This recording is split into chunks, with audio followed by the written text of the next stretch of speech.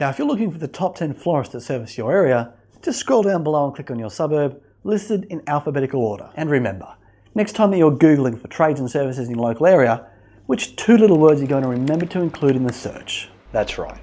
Remember to make it the top 10 for trades and services in your suburb.